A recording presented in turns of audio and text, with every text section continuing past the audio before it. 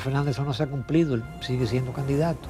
No, pero una cosa es ser candidato, porque fíjate lo que, lo que es Leonel, aquí hay que tener mucho cuidado cuando se habla del presidente Leonel, porque Leonel ganó solamente una vez desde, el gobierno, las otras dos veces ha ganado desde abajo. Pero bien, lo que está planteado sobre la mesa, más que una necesidad, se trata de una necedad.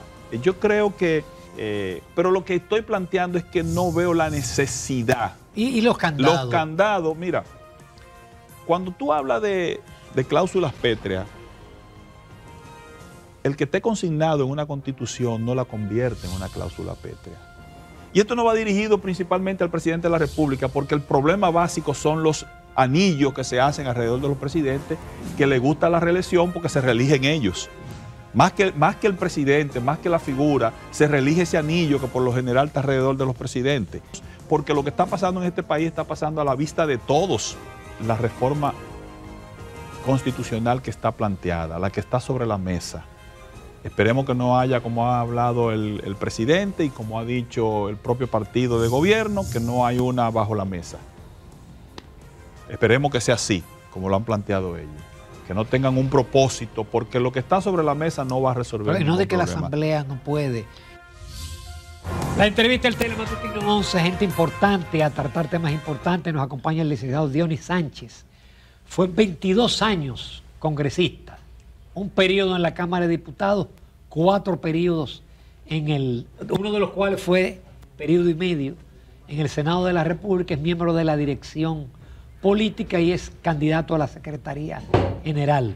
De la Fuerza del Pueblo. De la Fuerza del Pueblo. Buenos días, Buenos días, Diony. Buen día, un placer estar aquí con ustedes, como siempre, de verdad que sí. Candidato todavía no. Todo eso es precandidato, eso Todavía, todavía. no estamos en ese proceso. Dionis, después de tantos años en el Congreso, yo pensé que tú ibas a, un retiro momentáneo y tranquilo en Pedernales ahí. A ver, A, ver eh, estas grandes obras que está haciendo el gobierno, etcétera. Pero tú vas a seguir activo en la fuerza del pueblo en la capital. ¿Cuáles son tus planes? Nosotros estamos en el Congreso del Partido. Y yo debo aprovechar este programa porque los compañeros yo tengo que llevarle el mensaje a los compañeros para que se integren activamente en el Congreso del partido. Es bueno que los compañeros sepan que en este Congreso nosotros pretendemos concluir esa obra, concluir, el partido, porque nosotros iniciamos un partido en medio de una pandemia de forma accidentada con el tema de que se dio en el, en el 2019, tuvimos dos procesos electorales y hay tareas pendientes. Por eso nosotros pedimos a los compañeros que se integren activamente en las 19 mesas temáticas que estamos realizando para concluir esta obra, este partido que es del pueblo dominicano. Una vez concluido el Congreso Franklin Almeida Rancier, entonces empezaremos con el Congreso elector Manolo Tavares Justo. Y en ese momento vamos nosotros a renovar todas las autoridades del partido. Es decir, uno de organización y otros de elección. Sí, eso lo ah. manda la ley, el tema de eso está establecido en la ley, por lo tanto, todas las autoridades del partido serán sometidas a la voluntad de los miembros del partido. Perdón, eso incluye la dirección central, la dirección política, todo. Todo, eso incluye todo, renovarlo todo. Ahí tiene que someterse todo el mundo, desde el presidente Leonel hasta un presidente de una dirección media tiene que someterse al escrutinio del partido. En esa dirección, cuando llegue ese momento, que nosotros entendemos que será a principio de año, que empezaremos con la parte del Congreso Elector, entonces nosotros estamos aspirando a ser el secretario general del partido, con la intención de realizar la principal tarea que nos corresponde a nosotros como partido. Cuando el pueblo vota, asigna tareas le asignó la tarea al partido de gobierno de gobernar y en el juego de la democracia a nosotros lo que es la parte de la oposición como equilibrio de la democracia. Y nosotros necesitamos que este partido cumpla con su tarea para que sea visto por el pueblo y poder tener la opción de llegar al gobierno. Es al pueblo que le conviene cuando se hace oposición. A veces el que está gobernando no le gusta que le hagan oposición. Sin embargo, ese es el juego de la democracia porque las cosas que no están bien las cosas que de alguna manera afectan al pueblo, tenemos nosotros como oposición que hacer nuestra tarea.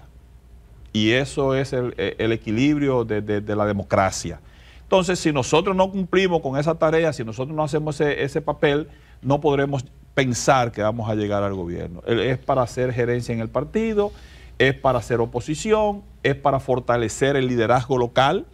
Nosotros hacemos un análisis del proceso pasado y nosotros concluimos en que en mayo a nosotros nos fue regular, nos fue más o menos alrededor de un 30% con, con Leonel de candidato presidencial. Ahora, si los resultados de febrero hubiesen sido diferentes, los de mayo también hubiese sido diferente. Si ustedes todavía tienen debilidades municipales. Claro, tenemos esa, esa debilidades porque es un partido nuevo, es un partido en construcción, es un partido... Eh, mire, el récord establecido por este partido, eh, tú analizas lo que le pasó al PLD y le tomó 20 años llegar a un 13%. 20 años desde el 1973 hasta el, hasta el 94, 21 años, fue para alcanzar un 13% con el profesor ¿Un 13 o un 23? No, un 13%, un 13%, que es de donde el presidente Leonel parte hacia el 96 con un 13% y se convierte luego en presidente de la República. No, pero en el 90 sacaron 32, 33, que quedaron casi empate con Balaguer. Hubo ahí un tema con, sí, eh, acuérdense que hubo un tema con porque el porque él fue subiendo. Sí. El hecho de que nos tomó todo ese tiempo, sin embargo, nosotros en cinco años, este partido ya anda rondando el 30%. En unas elecciones donde... Y llegar al poder le tomó 23 años, ahora sí, ya. Eh, en una, 23 eh, no más, 27, eh, llegamos en el 96. El partido se fundó en el 73. 23 años. 23 años. Correcto. El hecho es que un partido fundado en, en cinco años y saca alrededor de un 30%, donde las votaciones, las elecciones, votó aproximadamente el 50% de la población. O sea, con una abstención eh, provocada, una abstención que básicamente de la oposición, porque el que tenga el gobierno va a votar.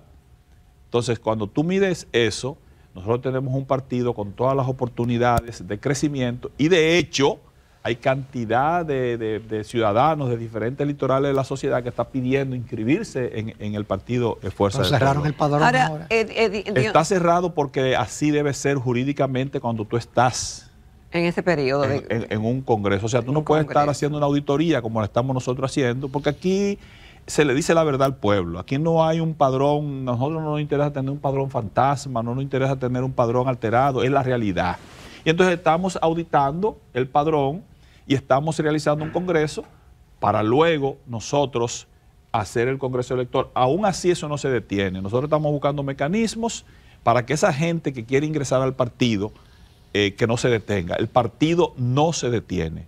Permanentemente estamos eh, eh, trabajando porque, repito, la principal tarea nuestra en, este, en estos cuatro años es el de hacer una, una oposición constructiva. Edioni, eh, pasadas ya las elecciones, que reconoces que hubo debilidades municipales, el análisis que tú haces, las conclusiones de, la, de las alianzas que se hizo con, el PLD, ¿finalmente fue positivo para, para, para, ambos partidos o en el caso de la Fuerza del Pueblo sí, sí fue bueno o no? Mire, yo tengo mi propio criterio con relación a la alianza. Yo no sé si ustedes recuerdan un momento que yo dije, o se hace una alianza sincera, sin agendas ocultas, o no hacemos nada. Hubo un sector del Partido de la Liberación Dominicana que nunca se integró a una alianza, que no hubo una franqueza con una alianza. Pero además, y esto lo digo con toda sinceridad y honestidad, hubimos tres actores importantes dentro de, de la dirección política, que no estuvimos de acuerdo con, la alianza en el momento que se hizo. Frank, el doctor Frank Almeida Ranciel, que Dios lo tenga en gloria, Franklin Rodríguez, Garavitos de, de, San Cristóbal, el senador de San Cristóbal y Dionis Sánchez. Sentamos cuatro meses al partido esperando una alianza. En un momento que el partido iba en un crecimiento que ya rondaba el 20, 21%, eh, pero una cosa, eh, una proyección estable, un crecimiento constante, entonces nosotros sentamos el partido para esperar esa alianza. Tú ibas a los pueblos y le decías a los compañeros, compañeros, pero ¿qué pasa con su candidatura? No, yo estoy esperando la alianza. Entonces, yo particularmente, ese es mi concepto con relación a la alianza. Siempre que se va a hacer una alianza, que conlleva sacrificio de ambos lados, pero que debe conllevar también sinceridad, franqueza. Ahí no hubo eso, no lo hubo. Y, mm. muchos eh, eh, pueblos donde se hizo una alianza estaban operando en contra a los candidatos. Oh, Dios. Entonces, la verdad es que... ¿A ti te pasó eso? Claro, claro. Yo planteé a la dirección política que yo no quería la alianza, bueno, porque se hizo un intercambio, que íbamos a apoyar nosotros en Jimaní, que yo no iba a apoyar en Pedernal, digo, pero hagan el intercambio con Dajabón. Eh, porque lo que, sucede, lo que iba a suceder era que en lugar de sacar su 3, 4% en, en esa provincia el partido del PLD, se sumó al PRM. Se sumó a la franca al PRM. Entonces, ese tipo de alianza, cuando es así, no vale la pena hacerla. No vale la pena. Esa es la verdad. Diony, no vamos a comerciales, porque tenemos otros temas ahora de verdad bien, bien pesados. Volvemos. Continuamos en Telematutino 11. Esta mañana estamos conversando con el licenciado Dionis Sánchez, ex senador eh, de la provincia de Pedernales y miembro de la dirección política del partido Fuerza del Pueblo. Eh, Dionis, hay muchísimos planes que ya están en marcha, propuestas de reforma, eh, y se pretende cambiar muchas cosas. Hay como creo que entre 12 y 14 reformas propuestas que de lograrse, primero va a, cambiar, va a cambiar el país y va a cambiar todo este escenario. y se han hecho toda suerte de análisis de gente interesada en el tema, del propio gobierno de expertos en la materia y los partidos de oposición, pero hay quienes dicen que el gobierno va corriendo solo y que realmente no hay un contrapeso ni una oposición, que no tiene esa oposición. ¿Cuál era tu opinión como legislador de tanta experiencia de todo esto que se pretende hacer, desde una reforma constitucional, laboral, fiscal, seguridad social, entre otras, fusiones de instituciones, es decir, vamos a cambiar el país si dejan que eso, todo eso pase. Miren, lo primero es la reforma constitucional, que es la que conocemos. Más que una necesidad, es una necedad. Porque ¿qué problema va a resolver la reforma constitucional que está planteada, la que está sobre la mesa? Esperemos que no haya, como ha hablado el, presidente y como ha dicho el propio partido de gobierno, que no hay una bajo la mesa. Esperemos que sea así, como lo han planteado ellos. Que no tengan un propósito, porque lo que está sobre la mesa no va a resolver. Pero no de que la Asamblea no puede. Hay quien dice que es soberana y quien dice que no, que no puede salirse de la ley de convocatoria. Eh, lo que pasa es, Núñez, que lo que la Asamblea puede tratar según algunos eh, tratadistas, algunos expertos en la materia, es lo que el objeto de la ley. Pero en el objeto de la ley puede cambiar muchas cosas. Mm. Hay otros que establecen que el órgano más importante del país, de mayor poder, es la Asamblea. Sí. Y que la Asamblea lo pudiera todo. Pero bien, lo que está planteado sobre la mesa, más que una necesidad, se trata de una necedad. Yo creo que, Núñez, en este país los liberales, de alguna manera, los proyectos liberales han fracasado con excepción de uno solo. Si tú analizas en el 1858 la constitución de Moca, de Espaillá, duró siete meses. La de 1865 de Cabral duró dos meses. La del profesor Juan Bo de 1963 duró siete meses. Y la de Lionel del 2010 es la única que perdura y es el único que ha, podido gobernar por un periodo. Entonces también la política se trata de prestigio. Cuando nosotros analizamos la política creemos que solamente es la parte que tiene que ver que, que si lo económico, que si las realizaciones, también hay una parte importante del prestigio. Y si ustedes analizan este proyecto de constitución, es tan pretencioso que dice que nunca se ha hecho una constitución, una reforma constitucional como esta. Pero ¿y dónde está la reforma constitucional que están planteados? Hablaban de la independencia. Son cuatro puntos. Ah, hablaban de la independencia del procurador y, con la confusión del Ministerio Público, que eso fue aclarado. ¿Cuál independencia? Si le escoge el presidente de la República ahora el Poder Ejecutivo, como lo hace en casi todos los países, como demostró Andy Daguarre, que más de 130 países así es que lo escogen, y la única diferencia es que será escogido por el propio Poder Ejecutivo, por el propio presidente, a través del Consejo de la Magistratura, que tú lo nombras sin sin definición de tiempo, y ahora lo va a nombrar con dos, para ser evaluado en dos años.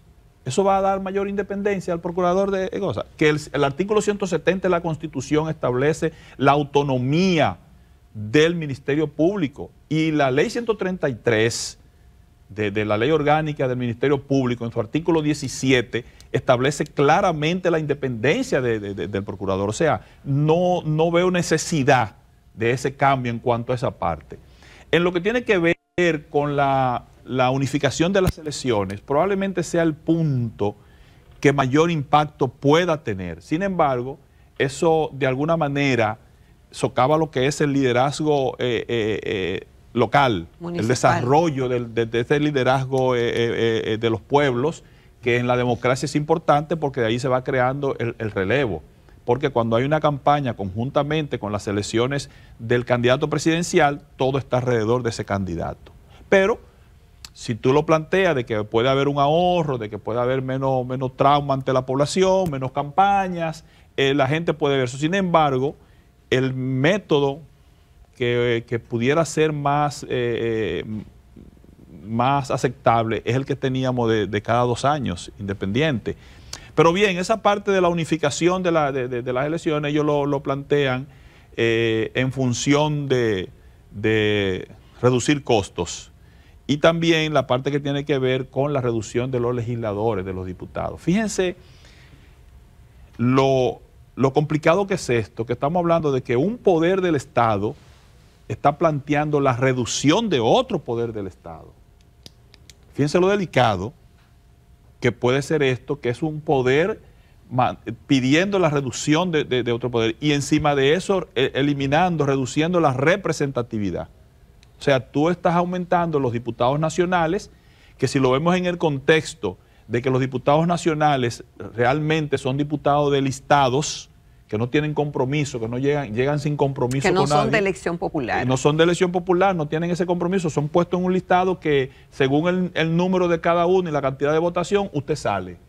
Entonces, reducir la cantidad de diputados de, representatividad para entonces aumentarlo eh, eh, en la cúpula de los partidos, también eso eso es cuestionable. Pero además, eso no reúne el consenso, eso no va a ser tan fácil. Ya ellos están buscando bajaderos para en lugar de, eliminar 53, que sean 10, 15, a lo máximo 20. Eh, pero lo que estoy planteando es que no veo la necesidad. ¿Y, los candados? Los candados, mira, cuando tú hablas de, de cláusulas pétreas, el que esté consignado en una constitución no la convierte en una cláusula pétrea. Una mayoría puede hoy modificar lo que está considerado una cláusula pétrea. La cláusula pétrea que nosotros tenemos, que es la forma de gobierno, pudiera no estar ahí. Y nadie se atrevería a cambiar de que hoy el gobierno va a ser militar o no va a ser republicano. O sea, porque esa cláusula tiene, está ahí desde el 1907, 17 años, sin que nadie la toque. O sea, porque las cláusulas pétreas, para lograrla, tiene que haber la solidificación en el consenso social. Cuando tú hablas de la forma de gobierno en este país, las últimas, vamos a analizar las últimas cinco eh, constituciones que hemos tenido. La del 66, reelección indefinida. La del 94, un periodo y después puede volver. La del 2002, dos periodos y nunca jamás. La del 2010, un periodo y luego puede volver. La del 2015, que es la vigente, dos periodos y nunca jamás. ¿Qué te dice eso? Que no hay un consenso en ese, en, ese sentido. Y Jefferson decía, los muertos no pueden gobernar a, las futuras generaciones. O sea, todavía nosotros no hemos logrado un consenso. Es muy, es muy bonito y es, yo particularmente siempre me he inscrito en el tema de la dos periodos y nunca jamás. Yo creo que las prolongaciones, más allá, que es lo que ha pasado en Venezuela, otros países, ya se convierte en otra cosa. A mí me gusta ese sistema, que es un, experimento básicamente norteamericano y que ha dado resultados. Pero fíjate que en este país... Sin embargo, con, el Leonel Fernández eso no se ha cumplido, él sigue siendo candidato. No, pero una cosa es ser candidato, porque fíjate lo que, lo que es Leonel, aquí hay que tener mucho cuidado cuando se habla del presidente Leonel, porque el Leonel ganó solamente una vez desde, desde el gobierno, las otras dos veces ha ganado desde abajo desde abajo y una reforma constitucional que la hizo Hipólito Mejía para, y a quien le sirvió el traje fue al presidente Leonel. Por eso hay que tener cuidado con, las, con quienes le gusta hacer traje. Y esto no va dirigido principalmente al presidente de la República, porque el problema básico son los anillos que se hacen alrededor de los presidentes, que le gusta la reelección porque se reeligen ellos. Más que, más que el presidente, más que la figura, se reelige ese anillo que por lo general está alrededor de los presidentes. Entonces, volviendo a lo que es la cláusula pétrea, se está modificando el artículo 268 con la intención de incluir la forma de gobierno en eh, ese artículo. Pero mañana puede venir una otra mayoría y modificarlo, porque además se quiere hacer sin un referéndum, que lo establece el artículo 272 de la Constitución. Lo quieren hacer sin, sin pasar por, por eso, porque, bueno, ustedes quieren modificarlo, pues vamos a hacer un referéndum que el pueblo lo, lo ratifique que el pueblo le dé legitimidad, porque además no han logrado consenso con la oposición. Aunque ustedes tengan las mayorías pero entonces una constitución siempre debe ser el resultado de un pacto. La constitución del 2010, que es la última real reforma que hemos tenido en este país, duró dos años, fue a todas las comunidades, todo el mundo opinó y duró dos años en debate y se logró un consenso con el principal partido de oposición del momento, que el líder era Miguel Vargas Mardonado. Entonces, de ahí sale el tema de un periodo y, puede volver porque esa era la concepción que planteaba el PRD y planteaban los PRMistas cuando estaban abajo en su, en su momento. Fíjense, acuérdense el pacto eh, de post-electoral de 1994 con, con, Balaguer, Peña Gómez, que, eso, que resultó así. Entonces ahora no, ahora hay una, una reforma constitucional que no tiene sentido, porque eso no va a resolver los principales problemas de este país, Ramón Núñez. Aquí, aquí lo que está preocupando a la gente es la haitianización, que es en demasía, que no sabemos todavía cuál es el compromiso que tiene esta presente gestión de gobierno con los organismos internacionales, con Estados Unidos, porque lo que está pasando en este país está pasando a la vista de todos. Y ya llegan las preocupaciones. Hay gente, eh, en ¿cuál es la situación al respecto, Diony? Que todos los trabajadores que están en las construcciones de las obras que está haciendo el gobierno son haitianos. Tú ves cuando los montan en las guaguas eh, que van a llevarlo cantidad en las paradas. Lo demás es hipocresía, que están que recogiendo. ¿Recogen a quién? Porque le, ponen un, un, cinto aquí en la muñeca que dice contratista y ya con eso pueden andar y, actuar. Entonces nosotros que hemos peleado tanto por el desarrollo de Pedernales, que lo hemos dicho muchas veces, que nuestra lucha no era para, para que ver y llegar, eh, salir turistas, sino para crear condiciones de vida para la, gente de, las provincias de Orilla, las provincias de Pedernales, la provincia de Barahona, Bauruco, Independencia, esas cuatro provincias, no, no, ha sido así, no ha sido así con las obras que se están construyendo. Porque los que están ahí son haitianos, porque los, eh, los contratistas que van lo que quieren es ganárselo todo. Quieren ganárselo todo y buscan mano de obra eh, haitiana porque les sale más barato, porque no tienen que compromisos sociales, porque tienen una serie de, beneficios que no se lo dan. Y entonces, ah, que los dominicanos no quieren trabajar. No, los dominicanos sí quieren trabajar, lo que no quieren es trabajar por lo que ustedes quieren pagarle. Y tienen que tener cuidado con esas cosas, porque cuando al, ciudadano le quitan todo, también le quitan el miedo. Y eso es muy peligroso. Y esta, esta, a, veces hay una clase poderosa que lo quiere todo. Y no debe ser así. No debe ser así. Y yo insto a, los eh, a que hagamos comité de vigilancias para supervisar que las obras se hagan bien, pero también para que se beneficie la provincia de Pedernales y la región. Y de la forma que están haciendo las construcciones, no se está beneficiando la, eh, la población. Y eso es muy peligroso. En un minuto, ¿cómo avanza el proyecto? Esta semana presentaron que la planta de tratamiento está a un 90% y que va... Sí, los proyectos están avanzando. Eh, yo sigo insistiendo en el tema de las carreteras, que van muy lento. Ya el tema del aeropuerto ya comienza a, dar sus primeros, eh, a comenzar a trabajar. Hay hoteles, eh, alrededor de, de, tres, cuatro hoteles que están a nivel de tres, tres cuatro pisos o sea que ya están prácticamente esas obras grises casi eh, concluyendo eh, y las obras también hidrosanitarias están avanzando. El proyecto va, va, avanzando, va avanzando. Por eso que yo pido que la población de Pedernales eh, tenemos que estar más vigilantes y le pido a mis colegas legisladores, al senador eh, a los dos diputados, la diputada y el diputado de nosotros, la Fuerza del Pueblo, que estén vigilantes a las acciones porque a ellos les toca defender los intereses de la provincia de Pedernales por encima de todo. el compromiso de ellos, el principal, no es ni siquiera con el partido que lo eligió, es con los intereses de Pedernales y de los pedernalenses. Como lo hiciste tú. Así es. Dionis, muchísimas gracias. Gracias, Dionis. Te esperamos eh, quizá antes del Congreso Elector. Ah, claro.